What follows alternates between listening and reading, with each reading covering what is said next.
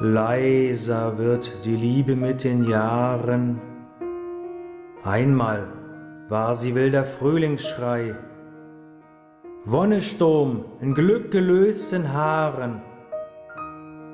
Aber mählich will sie offenbaren, was ihr Innerstes und Tiefstes sei.